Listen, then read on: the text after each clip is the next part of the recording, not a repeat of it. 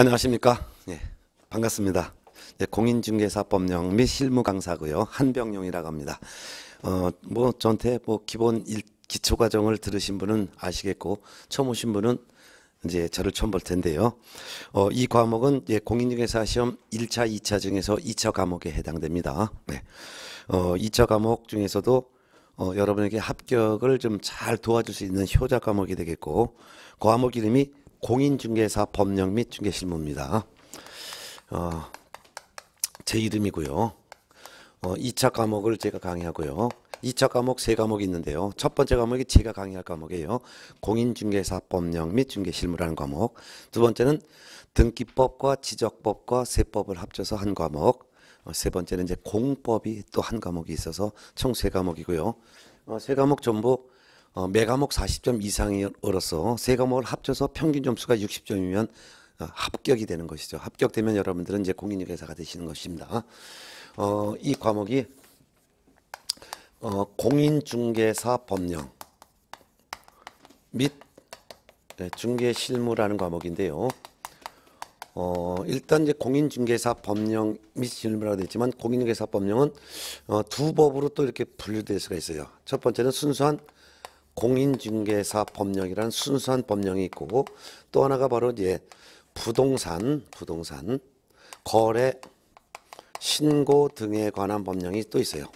신고 등에 관한 법령 또 있어요. 그래서 결국은 이 과목은 공인중개사 법령, 그 다음에 부동산 거래 신고 등에 관한 법령, 중개실무 이렇게 세 파트로 되어 있고 합쳐서 총 40문제가 나와요. 이 공인중개사 법령에서 어, 최소한도 한 28문제. 어, 최소한이에요. 더 나올 수도 있고요. 부동산 거래 신고 등에 관한 법령에서 최소 4문제 더, 문, 더 나올 수도 있고요. 그 다음에 중개 실무에서 어, 8문제. 어, 근데 적게는 이제 6문제지만 많게 나올 때는 최대 8문제 이렇게 해서 나오게 됩니다. 예, 예. 어, 근데 이제 올해는 아마 공인중개사법령이 두 문제가 더 나와서 30문제까지 나올 가능성이 있고 부동산 거래 신고 등에 관한 법령도 한 문제가 나와서 다섯 문제가 나올 가능성도 있고 중개실무는 뭐 적게는 여섯 문제, 많게는 여덟 문제 이 정도 해가 나올 거예요. 요 사이에서 나올 겁니다. 어, 그중에서 공인중개사 법령부터 먼저 공부할 거고 1편, 2편이 부동산 거래 신고 등에 관한 법령, 그다음에 3편이 중개 실무 이렇게 이제 세 편으로 이제 책이 구성되어 있어요. 요 공인중개사 법령은 어, 부동산 중개업을 하는 분들에게 적용하기 위해서 만든 법규예요. 어, 지금 부동산 중개업을 하시는 분들을 개업 공인중개사라고 부릅니다. 과거에는 부동산 중개업자라고 했는데 부동산 중개업자는 용어가 개업 공인중개사라고 명칭이 바뀌었습니다.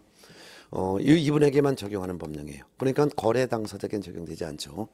어, 개업 공인중개사가 중개업을 할 때 어떻게 중개업을 할지를 어, 규율한 거죠. 이렇게 중개업하라. 근데 이제 부동산 거래 신고 등에 관한 법령은 어, 부동산 등에 대한 거래가 이루어졌을 때 이때도 거래도 매매 거래를 말합니다. 매매 거래가 이루어졌을 때 어, 실제 거래 금액을 신고해야 됩니다. 라는 내용을 규정한 법규예요. 그런데 이 부동산 거래 등의 부동산 거래 신고 등에 관한 법령은 만일 개업 공인중개사가 중개하여 매매 계약이 이루어졌으면 개업 공인중개사가 실제 금액을 신고해야 되고 어, 그렇지 않고 거래 당사자가 직거래했을 때, 즉 매도인과 매수인이 직접 거래를 했을 때는 이때는 거래 당사자가 실제 거래한 금액을 어, 신고를 해야 되죠. 네. 그렇기 때문에 부동산 거래 신고 등에 관한 법령은 개업 공인회사도 적용되지만 거래 당사자도 어, 적용되는 법령이 예, 되겠습니다. 네. 그다음에 이제 중개 실무는 개업 공인회사가 실제 중개 업무하는 내용이죠. 어, 즉 거래 당사자를 설득시키려면 먼저 어, 매도인의 물건을 조사 확인을 해야 되는데 매도인의 물건을 어떻게 조사 확인하고 또 조사한 물건을 매수인에게 어떻게 설명을 해야 되며 또 거래가 이루어졌을 때 서류를 어떻게 작성할지를 이렇게 이제 실무라고 합니다. 네, 이렇게 됩니다. 요거는 이제 개업 공인중개사가 실제 예, 중개 업무할 때 꼭 알아둬야 될 상식, 기초 상식을 배우는 내용이 되겠습니다. 어, 세 파트로 구성되어 있어요. 어, 그 중에서 공인중개사 법령 먼저 공부하고 요거를 아마 4주 걸쳐서 공부할 것이고 4주 반. 그다음에 부동산 거래 신고 등에 관한 법령을 한 주에 할 것이고 나머지를 한 2주 내지 2.5주에 걸쳐서 중개 실무를 공부하면은 아마 8주에 걸쳐서 이 과목이 아마 정리가 될 거예요. 그리고 지금 이제 3, 4월 과정입니다. 3월부터 4월 달까지 어, 이 두 달 과정에서는 어, 이론은 어, 기초 이론이 이미 다 정리가 돼 있기 때문에 어, 기초 이론은 간단하게 정리합니다. 그래서 기초 이론도 정리를 하고 거기다 기초 이론의 기초에서 좀 더 이론을 좀 더 심화시키는 심화 이론도 할 거예요. 그리고 그뿐만 아니라 어, 실제 시험에 나오는 내용은 그대로 전부할 거예요. 그래서 실제 시험에 이렇게 나옵니다. 그래서 실제 시험에 바로 대비할 수 있게 할 거예요. 그렇기 때문에 전체적인 내용을 정리도 하지만 실제 시험에 대비를 하기 때문에 어, 가장 핵심이 되는 것을 딱딱 정리하는 거예요. 그래서 핵심을 중심으로 핵심을 중심으로 해서 어, 정리한다 이렇게 보면 되겠습니다. 핵심 중심으로. 네. 그리고 시험에 나올 수 있는 부분은 좀 더 상세하게 공부하고 시험에 출제 가능성이 거의 없거나 또는 출제된다 하더라도 거의 출제 가능성이 아주 미미한 것들 이런 것들은 가볍게 터치하거나 또 생략할 수도 있습니다. 네. 자 그러면 어, 바로 이제 부동산 어, 공인중개사법령 요 1편을 공인중개사법령부터 먼저 할 거예요. 네. 그러면 책을 보시고 어, 책은 공인중개사법령 총칙부터 할 차례인데 17쪽이 되겠습니다. 17쪽 제1장 총칙인데요. 여기서는 한 네 문제 정도 최선 출제가 될 거예요. 많이 나올 때는 작년에는 다섯 문제가 나오기도 했는데 보통 네 문제가 나오고 있습니다. 그 중에서 제1절 부동산 중개업의 연역이라고 있는데요. 어, 이거는 사실 출제 가능성이 거의 희박합니다. 어, 지금까지 1회부터 작년 27회까지 어, 단한 차례 그것도 약 한 25년 전쯤에 딱 한 번 나왔고 출제가 된 적이 없습니다. 그래서 어, 그냥 여러분들이 한 번 보든가 뭐 안 보셔도 상관이 없을 정도로 그냥 넘어가도 됩니다. 그럼 바로 21페이지부터 넘어갑니다. 21페이지 공인중개사법령의 목적과 법적 성격부터 할 건데요. 일단 공인중개사법령은 왜 만들어졌고 또한 공인중개사법령은 어떻게 구성되어 있는지 이런 부분은 어, 출제 가능성이 상당히 높습니다. 어, 거의 해마다 한 지문은 꼭 출제가 되고 있기 때문에 어, 공인중개사법령 및 목적에서는 어, 한 지문이 나온다 이렇게 보시고 어, 지금부터 제가 이제 정리해 드릴 테니까 책 순서대로 정리할 테니까 잘 들으시기 바랍니다. 자, 그러면 21쪽부터 보도록 하겠습니다. 네. 일단 공인중개사 법령은 어떻게 구성이 되어 있고 그리고 이 공인중개사 법령을 만든 목적은 왜 만들었는지 목적이라는 것은 제정한 목적인데 요거를 하나하나씩 보겠습니다. 그 중에서 반가로 2번 중간에 있는 공인중개사 법령의 구성 반가로 2번부터 먼저 보시기 바랍니다. 그래서 구성을 먼저 볼게요. 예, 공인중개사 법령은 이렇게 구성되어 있어요. 법과 령 이렇게 구성되어 있죠. 법과 령으로 구성되어 있다. 법과 령을 합쳐서 법령이라는 거예요. 어, 법은 이제 법률을 줄인 말이죠. 법률을 줄인 말이 법이에요. 그래서 어, 법은 이제 국회가 이제 만드는데요. 어, 개업 공인중개사들이 중개업을 할 때 이렇게 중개업을 하세요라는 어, 큰 골격을 규정해 놨죠. 그래서 이 법률은 국회가 만드는 거예요. 국회가 개업 공인중개사에게 적용하기 위해서 그 법규 이름을 법을 제정해 놓고 그 법규 이름을 공인중개사 법률 이렇게 이름을 진 거예요. 공인중개사 법률. 공인중개사 법률을 줄여서 우리는 이제 법이라고 하는 거죠. 그래서 법은 법률을 줄인 말이에요. 여러분은 민법을 공부하면 본래 민법도 법률의 명칭은 민법률인데 률자를 생각해서 민법 이렇게 하는 것이고 뭐 국토의 계획 및 이용에 관한 법도 본래는 국토의 계획 및 이용에 관한 법률인데 률자를 생략해서 그냥 법이라고 하는 거죠. 네. 이 공인중개사 법은 총 1조부터 51조까지 해서 총 51개 조문과 부칙으로 구성이 되어 있어요. 어, 51개 조문밖에 안 되니까 내용 조문이 얼마 안 됐습니다. 특히 그 부칙이라는 것은 이 법에 대한 안내글이죠. 이 법은 언제 제정됐는데 언제부터 시행합니다. 요런 이제 안내글인데요. 이 부칙에 보면 이런 게 있어요. 부칙 어, 여섯 번째 조문에 이런 내용이 있어요. 과거에 공인중개사 자격이 없이 부동산 중개업을 하고 있던 분들은 추가로 공인중개사 자격을 취득하지 않아도 그냥 중개업 등록을 한 것으로 인정하겠습니다. 그대로 중개업을 하세요. 이런 내용이 부칙 6조 2항에 규정이 돼 있죠.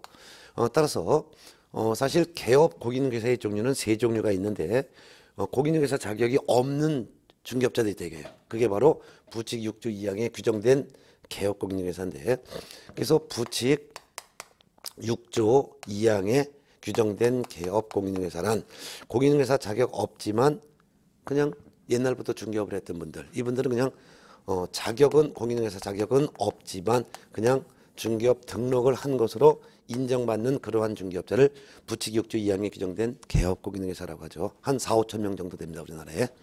근데 가장 많은 숫자가 바로 공인중개사 자격이 있는 중개업자죠. 이를 공인중개사인 개업 공인중개사라고 하죠. 예.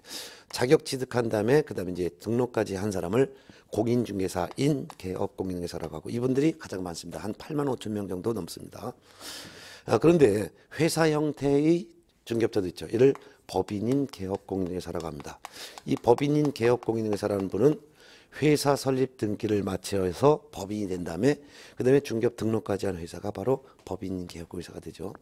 어, 요런 세 종류의 개업 공인중개사에게 적용하기 위해서 만든 법규가 바로 공인중개사 법률, 즉 줄여서는 공인중개사법이 되는 거죠. 예, 예. 어, 요거는 가장 큰 골격만 규정해 놨습니다. 그래서 어, 이 개업 공인중개사들이 중개업을 할 때 어떻게 중개업을 할지에 대한 가장 큰 어, 골격만 규정해 놓고 상세한 내용은 행정부에다가 재정 권한을 위임했습니다. 그래서 국회로부터 법 제정의 권한을 위임받아서 행정부에서도 법규를 만들었는데 행정부에서 만든 법규를 우리는 뭐라고 하냐면 령이라고 하는 거야. 령, 령, 령. 그래서 령은 행정부에서 만든 법규. 이게 바로 령이 되는 거예요. 령. 근데 행정부의 수장인 대통령이 만들었으면 이를 대통령이 만들어서 해서 대통령령 이렇게 부르는 것이고 대통령령을 시행령이라고도 합니다. 또한 대통령 밑에서 대통령을 보좌하는 장관도 법규를 만드는데 그 장관이 만든 법규를 부령이라고 합니다. 부령. 근데 이 부령은 뭐 국토교통부 장관이 만들었으면 국토교통부령. 뭐 만일 법무장관이 만들었으면 법무부령 이렇게 하겠는데 부동산에 관련된 업무는 지금 현재 국토교통부 장관이 관장하고 있죠. 그래서 국토교통부 장관도 법규를 만들었고 국토교통부 장관이 만든 법규를 국토교통부령이라고 하고 이 부령을 시행규칙이라고 합니다. 그래서 부령을 시행규칙이라고도 표현하기 때문에 같은 의미예요.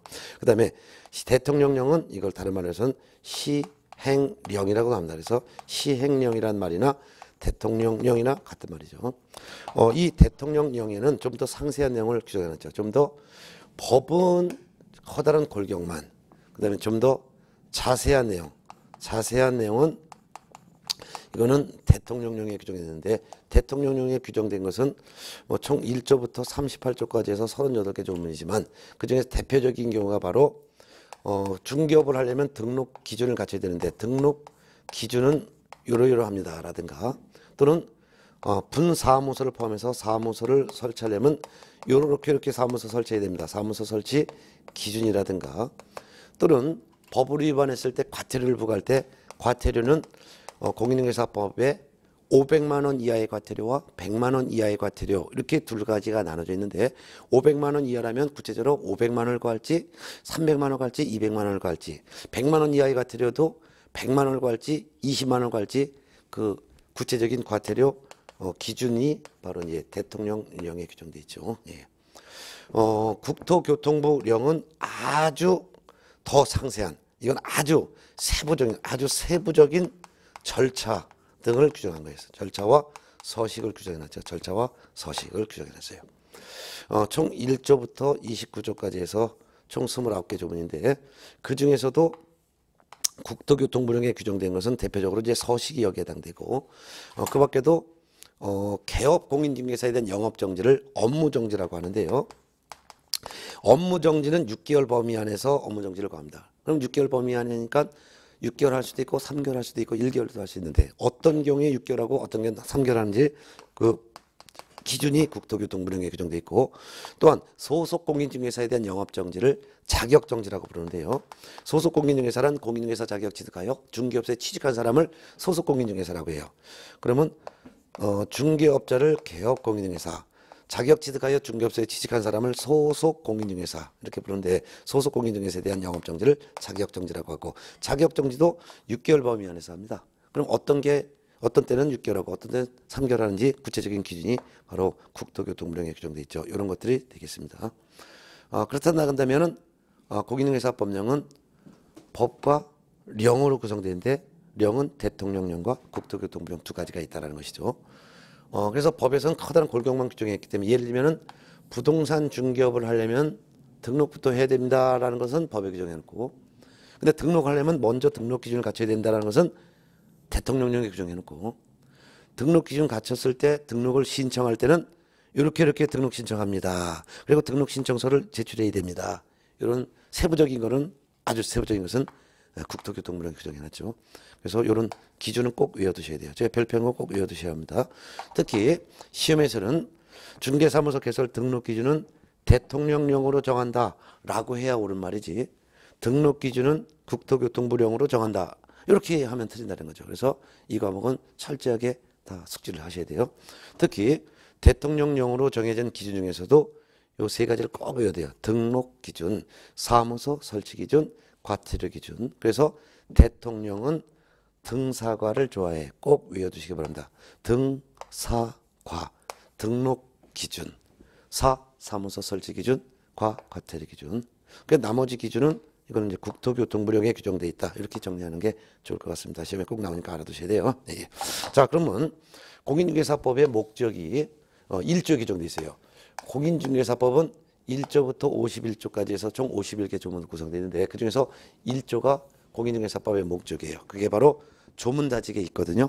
21쪽에 이거 시험에 꼭 나오니까 한번 읽어볼게요. 조문다직이 법 1조 목적 이 법은 공인중개사 이 법은 공인중개사법은 공인중개사 공인중개사의 업무 등에 관한 사항을 정하여 그 전문성을 제고하고 전문성을 제고하고 그 다음에 성 중기업을 육성하여 국 국민 경제 이바지함을 목적으로 합니다. 요 세 단어를 꼭 기억해 두세요. 공인중개사법을 만든 목적은 공인중개사의 업무 등에 관한 사항을 정하여요. 공인중개사지 개업 공인중개사의 업무 등에 관한 사항을 정하여 하면 틀리는 거예요. 개공이 아니라 공인중개사의 업무 등에 관한 사항을 정하여 전, 전은 전문성을 제고한다. 즉 공인중개사의 전문성을 제고하기 위해서 만들었다. 두 번째 성은 육성이에요. 육성인데 뭘 육성하냐? 부동산 중개업을 부동산 중개업을 건전하게 육성하기 위해서 만들었다. 그 다음에 국 국민 경제의 이바잠을 목적으로 한다. 국민 경제 이바잠이라는 것은 국민이 경제적으로 윤택하도록 하기 위해서 만들었다 이거죠. 이 세 단어를 꼭 기억하셔야 돼요. 전, 성, 국. 전, 전문성을 제고하기 위해서 만든 거지. 공신력을 제고하기 위해서 만들었다. 공신력 제고 이런 식으로 나오면 틀리다는 거죠. 또한 부동산 중개업을 건전하게 육성해요. 육성이지 부동산 중개업을 규제 또는 규율하기 위해서 만들었다 하면 틀린 거예요. 어, 이렇게 해서 꼭 차이점을 꼭 알아두세요. 또한 부동산 중개업을 건전하게 육성하는 것이지 중개업이 아니라 뭐 중개 업무를 뭐 중개 업무를 이런 식으로 표현하고도 틀리는 거예요. 중개 업무가 아니라 중개업이라는 거 전성고 꼭 기억해 두셔야 됩니다. 넘어가겠습니다. 예. 어, 유사 표현에 꼭 주의하셔야 돼요. 예. 그 다음에 이제 22페이지로 넘어가면 공인중개사법의 법적 성격이 있습니다. 그러면 이 공인중개사법은 어떤 성격을 갖고 있냐? 공인중개사법의 예, 구성 중요하고 목적 중요하고 그 다음에 어, 공인중개사법은 어떤 성격을 갖고 있냐? 성격은 봅니다. 공인중개사법은 어떤 성격을 갖고 있느냐? 이거는 외울 게 아니라 그냥 뜻만 이해하면 되는 거죠. 예, 첫 번째는 부동산 중개나 중개업에 대해서는 가장 기본을 이루는 기본법이면서 동시에 일반법입니다.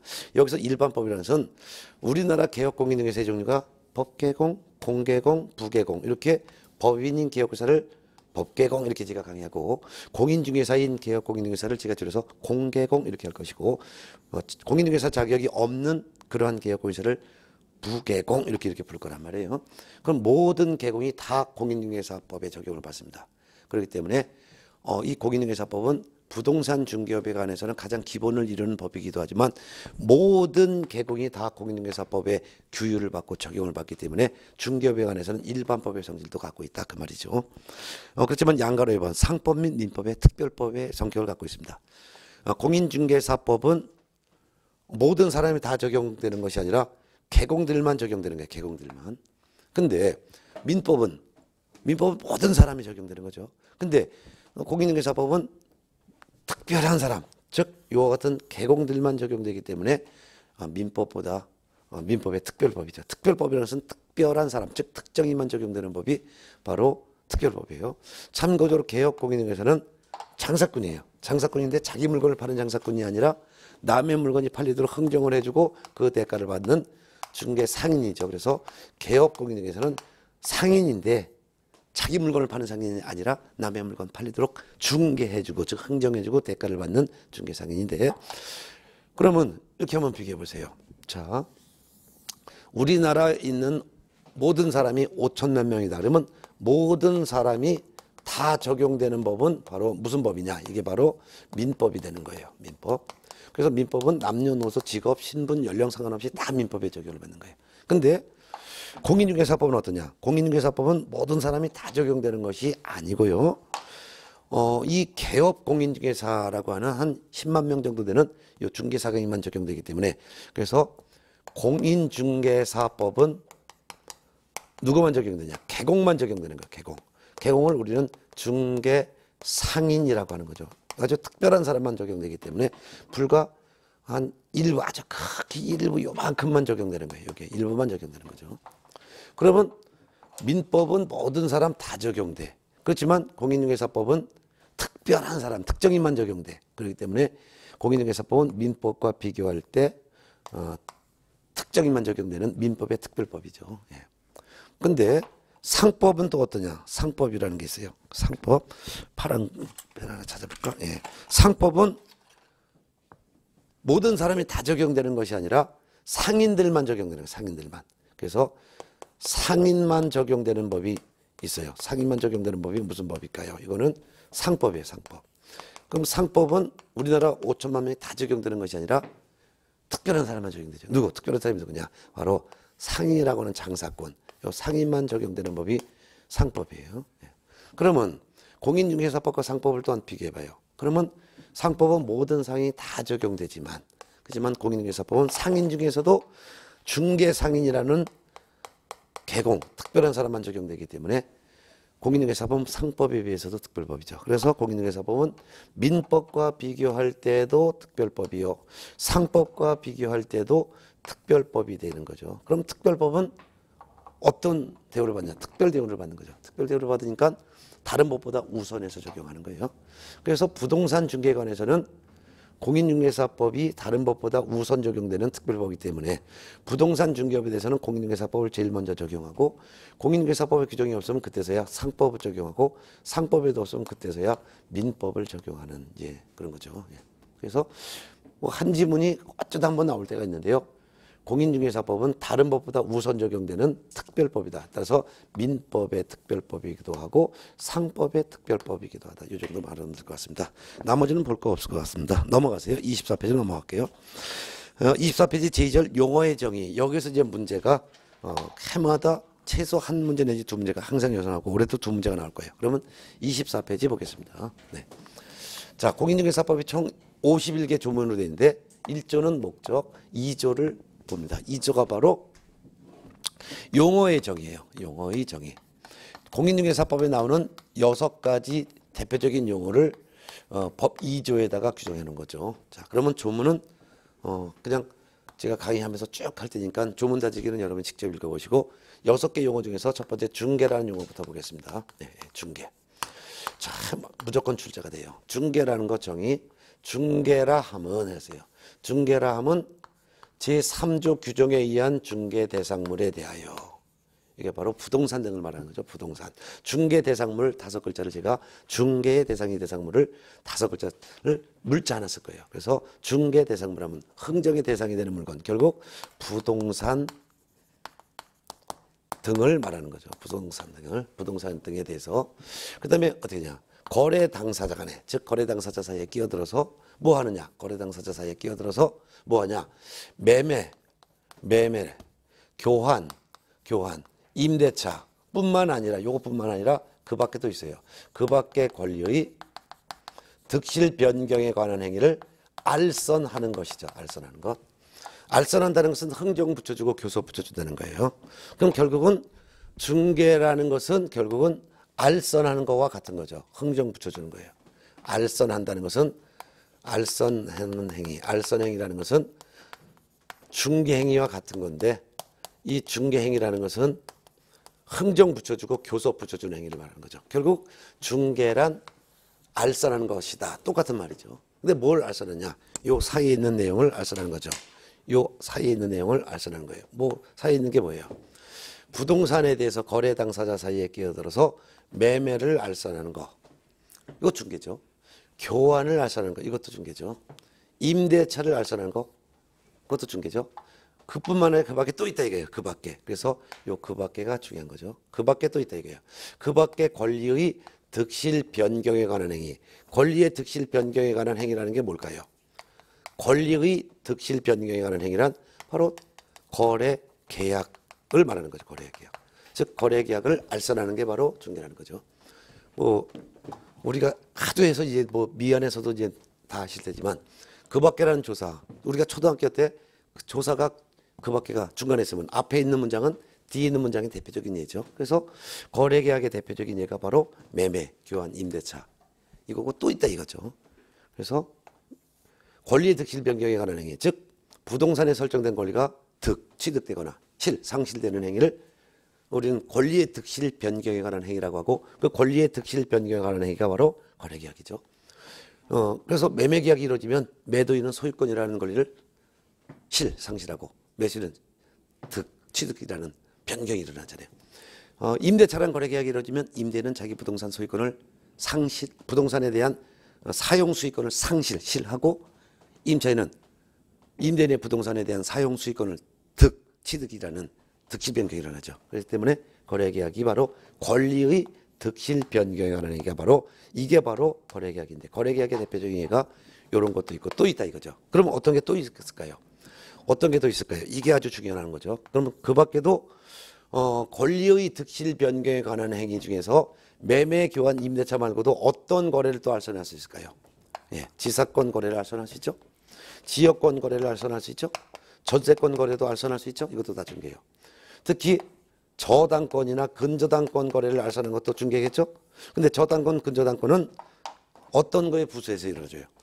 금전 소비 대차 이루어지죠. 그래서 금전 소비 대차의 부수에서 이루어지는 저당권 알선도 중개다. 그래서 법 2조에서 정하는 중개라는 용어의 정의에 그 밖의 권리 득실 변경에 관한 행위에서는 저당권 알선하는 것도 포함되는데 금전 소비 대차 계약에 부수하여 저당권 설정을 알선하는 것도 중개에 해당된다.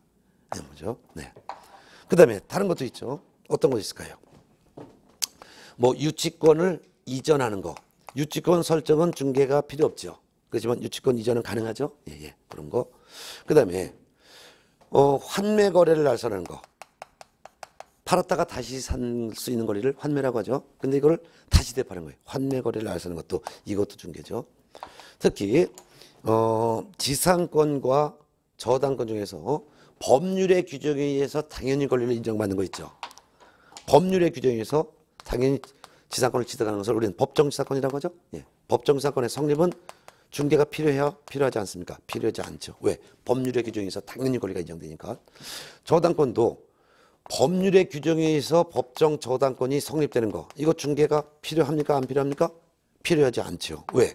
법률의 규정에 서 당연히 그냥 저당권 취득하니까. 어, 유치권. 유치권을 성립하는 거 중개가 필요합니까? 안 필요합니까? 필요 없죠. 왜? 그냥 법률의 규정에서 당연히 유치권 인정되니까 이런 거. 그다음에 질권에 대한 알선하는 거 중개가야 하니까요. 아니죠. 왜요? 질권은 동산에 대한 권리니까. 그래서 이런 것들은 중개대상 권리가 아니라는 거. 또한 권리는 권리처럼 보이지만 이거는 어 거래를 할 수 없는 권리가 있어요. 뭐가 있을까요? 분묘 기지권. 분묘 기지권은 시신을 전제로 한 권리죠. 그러니까 분묘기지권의 성립이건 분묘기지권의 이전이건 이거는 중개대상 권리가 될 수 없죠. 시신을 전제로 한 거니까. 이런 것들이 시험에 무조건 나오는 거니까 꼭 알아둬야 되겠죠. 네. 이런 것은 민법 기초에서도 배웠고 제가 1월 달에도 설명드렸으니까 이제쯤이면 이걸 정리할 수 있는 실력이 배양이 됐겠죠. 무조건 시험 나오는 거야. 예. 자, 그러면 요게 이제 기본적으로 해서 이제 문제가 나오는 거고 추가로 설명드리면 중개라는 것은 알선하는 건데 공인중개사법에 규정된 중개라는 개념이 성립되려면 요것이 다 성립돼야 돼요. 즉 중개 대상물에 대해서 즉 부동산에 대해서 거래 당사자 간에 끼어들어서 거래 계약을 알선해 줘야 돼요. 그러면 중개 대상물이라면 다섯 가지가 있죠. 중개 대상물 다섯 가지 외웠죠. 자, 한번 머릿속에 외워보세요. 시작. 예, 맞아요. 토, 건, 입, 공, 광. 네. 요 다섯 가지를 대상으로 해야 되죠. 토지, 건축물, 임목, 공장재단, 광업재단. 요 다섯 가지 물건을 대상으로 거래해야지. 요 다섯 가지 물건이 아니라면, 예를 들면 동산에 대해서 거래를 할 수 없다. 이거 중개가 아니죠. 어, 준부동산 중에서도 자동차, 선박, 항공기, 뭐 요런 거, 뭐 어업재단, 요런 것들은 토건 입공강이 아니죠. 요런 물건을 대상으로 매매 거래가 알선했다. 이거 중개 아니죠. 네. 상가 권리금을 받을 수 있도록 알선했다. 이것도 중개가 아니죠. 상가 권리금은 부동산이 아니니까. 요런 것들이 시험에 또 잘 나오는 거죠. 그래서 공인중개사법에 규정된 중개라는 개념이 성립되려면 부동산을 전제로 해서 거래를 알선해야지 부동산이 아니면은 중개가 될 수 없다라는 거. 따라서 토건, 입건강 이러한 다섯 가지 물건이 바로 법 3조에 규정되어 있는 중개 대상물이고 요 다섯 가지 물건을 대상으로 알선해야지만 된다는 거죠. 또한 중개가 이루어지려면 거래 당사자가 존재해야 돼요. 거래 당사자가 있어야지만 거래 당사자 사이에 끼어들어서 거래를 알선하는 거죠. 어, 거래 당사자가 없자면 중개할 수가 없잖아요. 근데 이 거래 당사자는 거래 당사자 쌍방으로부터 의뢰받아 거래를 알선하는 경우도 중개에 해당되죠. 뿐만 아니라 일방으로부터만 의뢰받아 거래를 알선한다. 이것도 다 중개에 해당되겠죠. 쌍방으로부터 의뢰받았다면은 만약 개공이 매도인으로부터 의뢰받고 매수인으로부터도 매수 의뢰받아서 혼자 거래를 알선하면 이거는 단독 알선되는 거죠. 즉 단독 중개. 근데 일방으로부터만 의뢰받아도 거래가 알선될 수 있죠. 예를 들면 저는 매도 의뢰만 받은 개공이에요. 매수인은 없어요. 근데 이 개공은 매수 의뢰만 받았어요. 매도 의뢰는 받지 못했어요. 그러면 이 개공은 매도 의뢰인 일방으로부터만 의뢰받고 이 개공은 매수 의뢰인으로부터 일방으로부터는 의뢰받았지만 매도 의뢰받은 개공과 매수 의뢰받은 개공이 같이 알선할 수 있죠? 그러면 공동 알선이에요. 이게 바로 일방으로부터 의뢰받아 거래를 알선하는 것도 중개에 해당되는데 이게 바로 공동 중개죠. 쌍방으로부터 의뢰받아 거래를 알선하는 것은 혼자 알선하는 단독 중개. 일방으로부터 의뢰받았다는 것은 다른 경우와 같이 공동 중개라는 뜻이죠. 그래서 쌍방으로부터 의뢰받은 경우뿐만 아니라 일방으로부터 의뢰받아 거래를 알선하는 것도 중개에 해당한다 하면 맞는 것이죠. 아, 그래서 이런 것들이 시험에 달려는 거예요. 그 다음에 어, 거래 계약을 알선해야 돼. 알선한다는 것은 거래 계약이 체결되도록 흥정 붙여주고 교섭 붙여주는 거죠. 그러면 알선한 행위는 행위 중에서도 사실행위에 해당되는 거죠. 사실행위. 예. 결국 중개행위는 거래 계약이라는 거래 계약은 무슨 행위? 거래 계약은 법률 행위잖아요. 거래 계약이라는 법률 행위가 성립되도록 도와주는 사실 행위 하는 게 바로 중개행위라는 거죠. 그래서 성격은 사실 행위다. 그래서 거래 계약은 어, 어, 거래 계약은 법률 행위, 중개행위, 알선 행위는 사실 행위. 즉 알선 행위라는 것은 거래 계약이라는 법률 행위가 성립하도록 행위하는 사실 행위라는 거 알아두면 되겠죠. 네, 이런 것들이 가장 기초 상식으로 다 우리가 다 정리했던 내용이 되겠습니다. 어, 그 다음에 26페이지에 보면은요, 어, 판례가 나와 있는데, 판례 중에서도 시험에 잘 나오는 판례지가 1번 판례 발표하시고, 어, 중개행에 해당하는지 여부에 대한 판례는 중개 행위자의 주관적인 의사에 의해서 결정되는 것이 아니라 그 행위를 사회 통념에 따라 외형적 객관적으로 판단한다는 거, 이런 1번 판례 중요하니까 꼭 발표해 놓으시고, 2번 판례에서도 일방 당사자의 의뢰에 의하여 중개하는 것도 이것도 공동중개니까 중개에 해당한다라는 거 두 번째 판례도 별표해 놓으시고 어, 세 번째 중개 의뢰인의 범인에 본인으로부터 의뢰받았을 뿐만 아니라 본인의 대리인으로부터 의뢰받아서도 대리인도 중개 의뢰인에 포함된다는 거. 그 다음에 네 번째 판례 중요하죠. 저당권이 중개 대상 권리에 해당한다는 거. 특히 어, 금전 소비 대차 계약에 부수하여 저당권 거래를 알선하는 것도 중개에 해당한다는 거.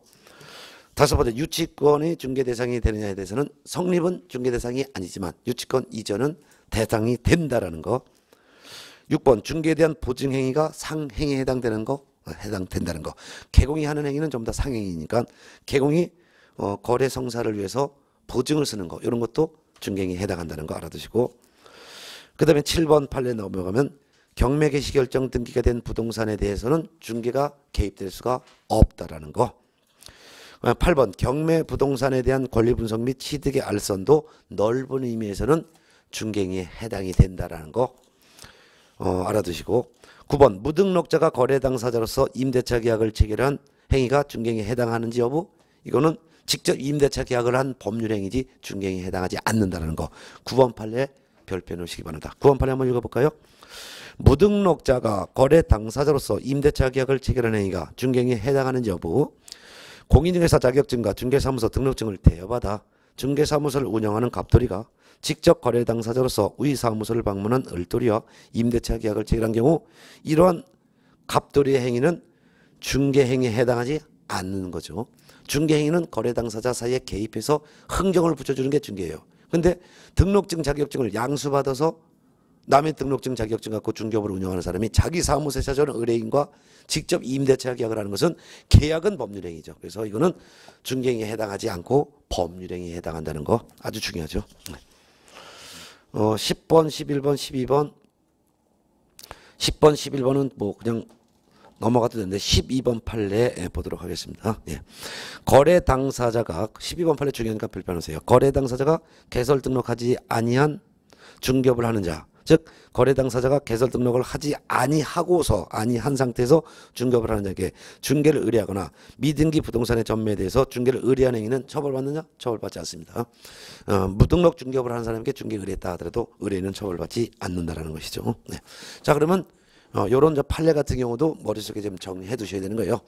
자, 그러면 중개에 대해서는 알선하는 건데, 알선하는 건데, 부동산이라는 다섯 가지 물건에 대해서 거래 당사자 사이에 개입들어서 매매를 알선하거나 교환을 알선하거나 임대차를 알선하거나 그 밖에 그 밖에도 지상권 거래, 지역권 거래, 전세권 거래를 알선하는 것도 중개고 저당권, 근저당권을 알선하는 것도 중개고 유치권 이전을 알선하는 것도 중개고 환매 거래를 알선하는 것도 중개다.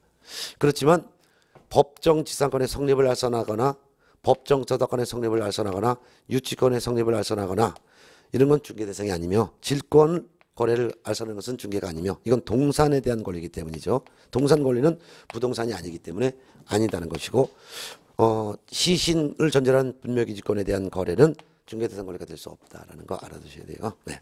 그럼 이 알선을 몇 번 하는 거냐? 이거는 한 번 알선하는 거예요. 한 번 알선. 그 이와 같은 알선은 누가 할 수 있느냐? 제한이 없습니다. 그래서 이 중개는 개공도 할 수 있지만 누구든 간에 그래서 누구든지 누구든지 이 중개를 해도 됩니다. 중개하더라도 처벌받지 않습니다. 그래서 한 번 중개는 누구든지 해도 돼요. 그리고 보수받아도 됩니다. 처벌받지도 않습니다. 그래서 누구든지 한 번 알선하는 것은 가능하다. 그리고 보수도 받을 수도 있다. 이거 꼭 시험에 나오니까 알아두셔야 됩니다. 예. 자, 그 다음에 이제 두 번째 용어가 바로 이제 공인중개사가 되겠는데요. 29페이지 공인중개사 보겠습니다. 네. 자, 공인중개사도요. 어, 한 지문은 꼭 출제가 되니까 알아둘게요. 예. 자, 두 번째 공인중개사 아주 중요합니다. 예. 공인중개사. 예. 자, 공인중개사란 이 법에 의한 이 법에 의한 딱 나와야 돼. 이 법에 의한 공인중개사 자격을 취득한 자입니다. 이 법에 의한 자격을 취득한 자가 바로 공인중개사예요. 그럼 이 법에 의한이 꼭 들어가야지 다른 법에 의한 하면 되는 거예요. 이 법에 의한. 이 법이라는 것은 공인중개사법에 의한이죠. 그럼 공인중개사법에 의한 자격을 취득한 자라는 것은 어, 우리나라 시도지사가 시행하는 시험에 합격했거나 또는 우리나라 국토교통부 장관이 시행한 시험에 합격하여 그 말이에요. 그게 바로 이 법의 의안이죠. 네. 자격을 취득한 자가 공인중개사예요. 그렇다면 이 법이 아니라 다른 법, 다른 법에 의하여 자격을 취득한 자 하면 틀린 거죠.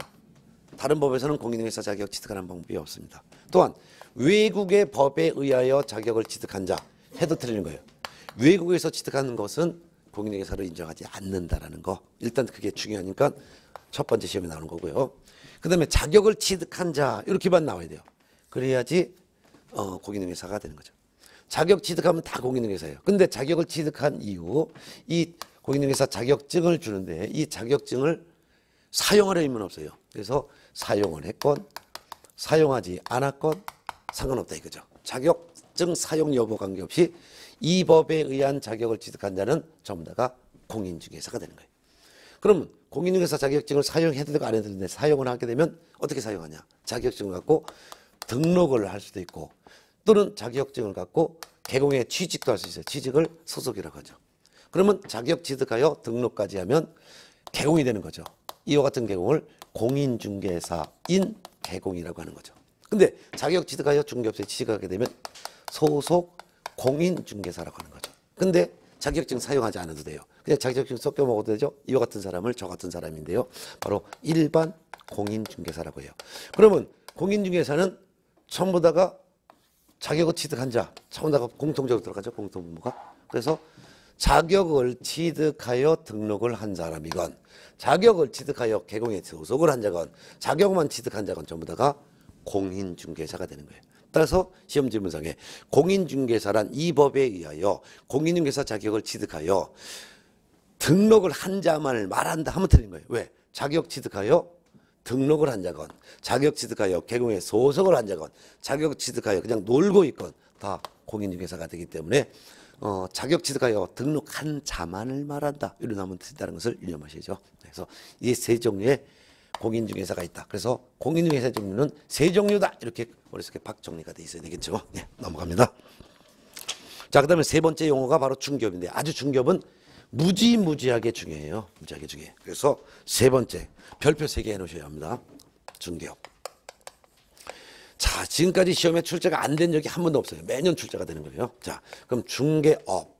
업이라는 것은 사업을 줄인 말인데 중개업을 하는 목적은 돈 벌기 위해서 중개업을 하는 거죠. 자, 그러면 중개업에 대한 용어의 정의를 봤더니 중개업이란 다른 사람의 의뢰에 의하여 그 다음에 일정한 보수를 받고 보수를 받고 보수를 받고 어떻게 하냐 중개를 하더라도 중개를 업으로 하는 것 중개를 업으로 하는 행하는 것을 중개업이라고 합니다. 그래서 업자가 꼭 들어가야지 업자가 빠지면은 이건 틀린 지문이 된다는 것을 꼭 알아두셔야 돼요. 이게 첫 번째입니다. 자, 다른 사람으로부터 중개를 의뢰받고 그 다음에 의뢰인으로부터 중개 보수도 받고 중개를 하더라도 업으로 한다는 거예요. 업으로 한다는 것은 계속 반복한다는 뜻이죠. 예, 예. 네, 계속 반복한다는 거예요.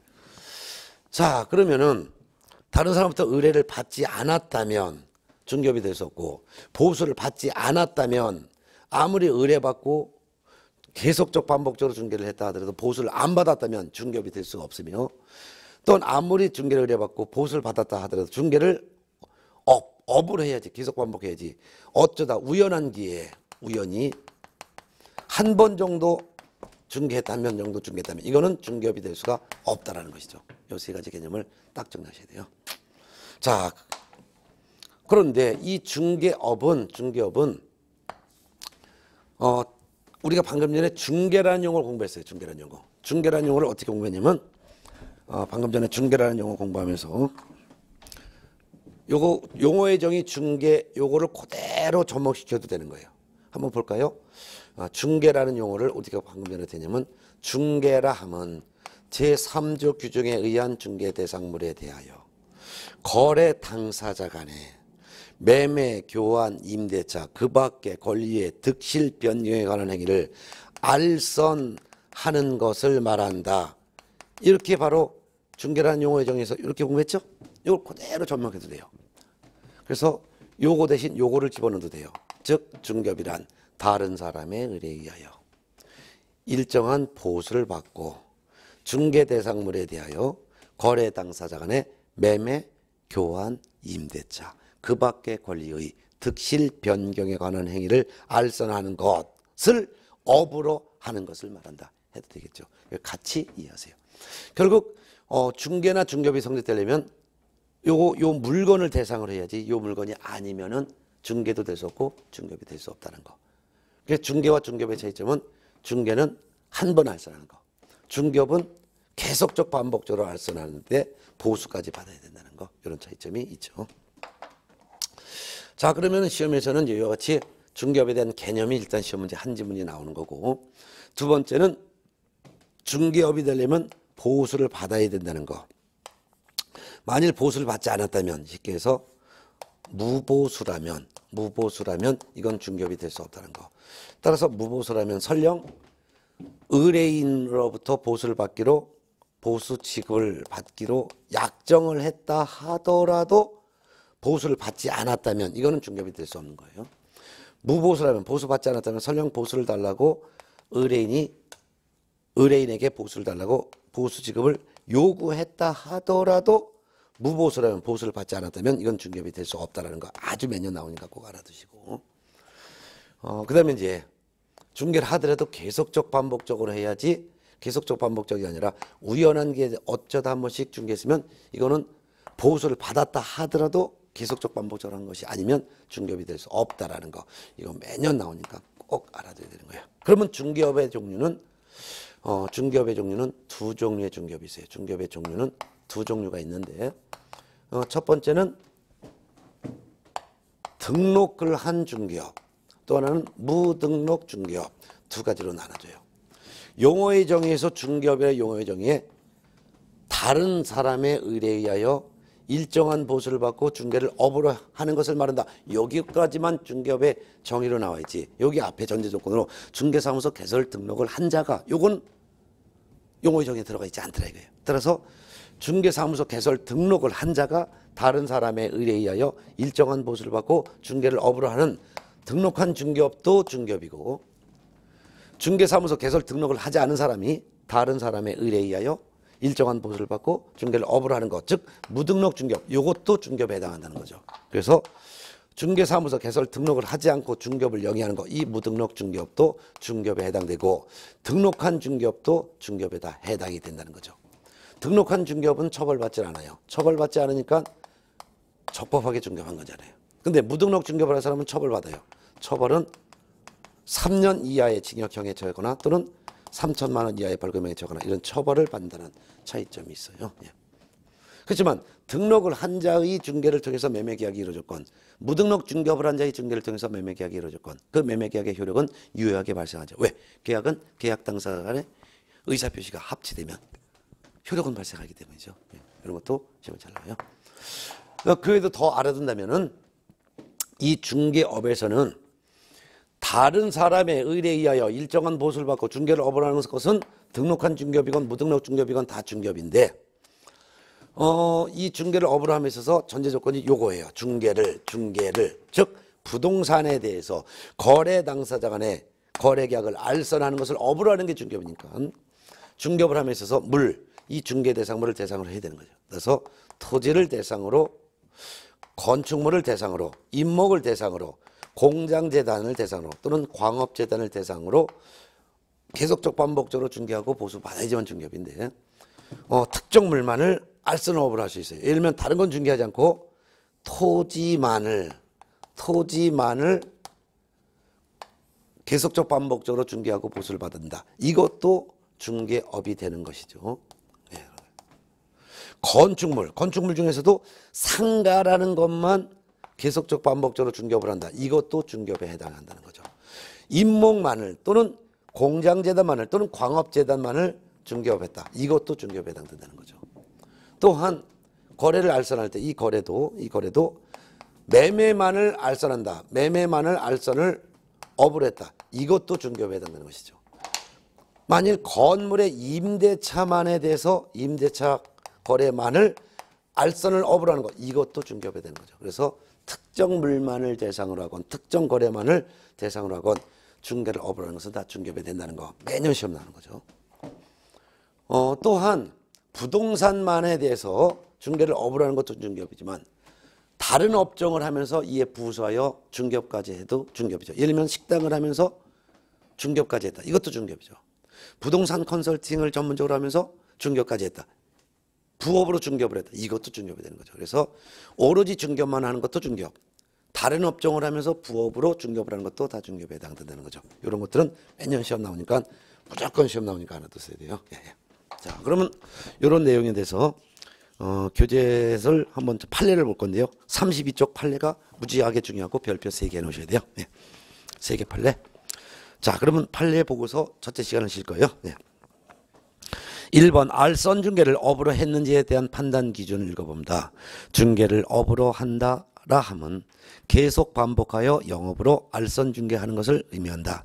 그러나 알선 중개를 업으로 했는지 여부는 알선 중개의 계속성, 반복성, 영업성 등의 유무와 그 행위의 목적이나 규모, 횟수, 기간, 모습, 태양은 모습이란 말이에요. 모습, 형태 등 여러 가지 사정을 종합적으로 고려하여 사회 총념에 따라 판단해야 할 것이다. 따라서 우연한 게 단 한 번 건물 전세 계약에 중개를 하고 수수료를 받은 사실만으로는 이런 중개를 억울한 것이라고 볼 수가 없다 이거죠. 네.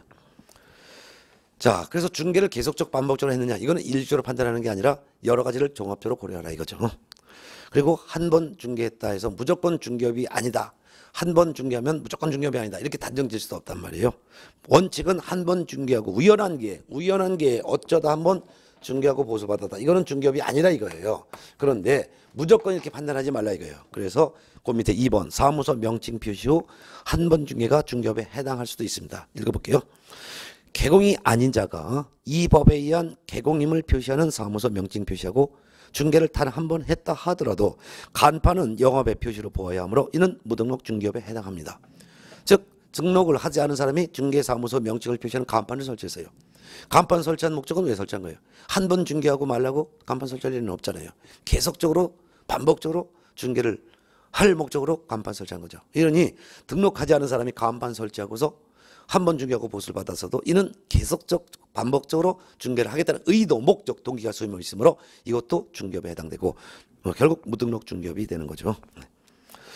그 다음에 3번 판례 아주 중요해요. 3번, 4번, 5번 세 개 판례는 무조건 시험에 나오니까 불편한데 3번 어, 금전 소비 대차에 부수하여 저당권 설정의 알선을 업으로 한 경우가 중개업에 해당하느냐 타인의 의뢰에 의하여 일정한 수수를 받고 부동산에 대하여 저당권 등 담보물권 설정에 관한 행위의 알선을 업으로 하는 것도 이거는 중개업에 해당한다 이거죠. 네. 4번 다른 업종을 주된 업으로 하는 자가 부업으로 중개를 업으로 하는 경우도 중개업에 해당한다. 즉 부동산 중개행위가 부동산 컨설팅 행위에 컨설팅은 상담을 말하는 거예요. 컨설팅에 부수하여 이루어졌다 하더라도 이는 공인중개사법 2조 2호 소정의 중개업에 해당한다 할 것이다. 따라서 중개사무소 개설 등록을 하지 않은 사람이 부동산 컨설팅을 주된 업으로 하면서 이에 부수하여 부동산 중개업까지 했다면 이거는 무등록 중개업에 해당하는 거죠. 네. 자, 5번 무등록 중개업을 한 자와 무등록 중개를 한 자의 보수정권 인정 여부. 무등록 중개업을 한 자와 무등록 중개한 자는 차이가 있죠. 무등록 중개업을 한 자라는 것은 등록하지 않고 계속적 반복적으로 중개하고 보수받은 사람. 근데 무등록 중개한 자라는 것은 등록하지 않고 딱 한 번 중개한 사람. 이런 차이점이죠. 네. 어, 중개사무소 개설 등록하지 아니한 채 중개업을 하면서 즉 무등록 중개업을 하면서 체결한 중개보수 체결약정은 강행 규정에 위배에 대해 그 효력을 제한하는 무효이다. 즉 무등록 중개업을 한 자와 의뢰인 간에 나중에 중개 완성하면 보수 받기로 하는 약속은 효력이 없다. 무효라 이거예요. 무등록 중개업을 한 자에게 보수 청구를 인정한다면 이건 오히려 무등록 중개업을 조장하기 때문이죠. 네. 그렇지만 그러나 무등록 중개를 한 자, 무등록 중개한 자라는 것은 등록하지 않고 딱 한 번 중개한 것을 무등록 중개라고 하는 거죠. 무등록 중개를 한 자의 중개 보수 지급 약정이 강행 규정 법규에 위반되어 무효로 할 것은 아니라 이거예요. 무효로 할 것은 아니라는 것은 유효이고 이거죠. 유효. 효력이 있다 이게. 다만 중개 보수 지급 약정이 부당하게 과다하여 민법상 신의성 기원칙이나 형평원칙에 바른다고 볼 만한 사정이 있는 경우에는 상당 하다고 인정하는 범위 내로 감액된 보수만을 청구할 수 있을 뿐 무등록 중개 한 자와 의뢰인 간의 보수 약정은 유효. 근데 무등록 중개 업을 한 자와 의뢰인 간의 보수 약정은 무효. 이런 차이점이 있죠. 예. 자, 그러면 여기까지 한 내용을 갖고서 어, 좀 정리할게요. 예. 시험에 나오니까 여기다 볼까요? 예, 예. 여기다 볼게요. 예. 중개와 중개업의 차이점 그 다음에 무등록 중개와 무등록 중개업의 차이점 꼭 구분을 하셔야 돼요. 중개는 몇 번? 한 번 알선하는 거. 중개업은 계속적 반복적으로 흥정 붙여주는 거. 중개는 보수를 받았건 보수를 받았건 안 받았건 상관없이 한번 알선하면 그건 중개. 근데 중개업이 되려면 계속적 반복적으로 중개하고 보수도 반드시 받아야지만. 그렇죠? 중개는 누구나 다 가능. 근데 중개업은 개공만 가능. 이런 차이점이 있죠. 이렇게 차이점이 있어요. 예. 자, 그럼 무등록 중개라와 무등록 중개의 차이점 볼게요. 무등록 중개는 등록하지 않고 한 번 중개한 거. 무등록 중개업은 등록하지 않고 계속적 반복적으로 중개하면서 보수까지 받은 경우. 무등록 중개는 해도 돼요. 가능하다. 그리고 무등록 중개한 사람과 의뢰인 간의 보수 지급 약정은 유효. 유효. 너무 과다하면 상당한 범위 내는 감축되지만 원칙적으로 유효. 근데 무등록 중개업을 한 자, 등록하지 않고 계속적 반복적으로 중개업을 하고 보수받은 자, 오, 이거 무등록 중개업 있냐? 안 돼. 불가. 하게 되면 처벌받아요. 처벌받기 때문에. 무등록 중개업을 한 사람과 의뢰인 간의 보수 지급 약정은 유효 무효? 무효. 이거는 효력이 없다는 거예요. 무효, 무효, 무효, 무효, 무효. 또한 무등록 자- 중개를 한 사람에게 의뢰를 했건 또는 무등록 중개업을 한 자에게 의뢰했건 의뢰인은 처벌받는다 안 받는다? 의뢰인은 처벌받지 않는다. 처벌받지 않는다.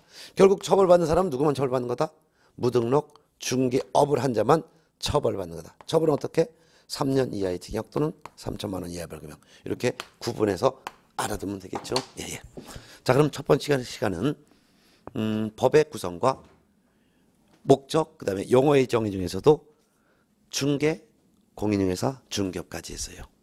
여기까지 해서 해마다 한 두 문제가 나오는 거죠. 자, 그럼 쉬었다가 33페이지 용어의 정의 네 번째 개업 공인중개사부터 해서 그 다음에 어, 중개 대상물까지 해서 어, 첫째 시간, 네, 둘째 시간에 할 거예요. 그래서 쉬었다가 둘째 시간은 33페이지부터 어, 어디까지 할 거냐면 어, 48페이지까지 예, 둘째 시간에 할 거예요. 예, 그러면 쉬었다 하도록 할까요? 수고하셨습니다. 네.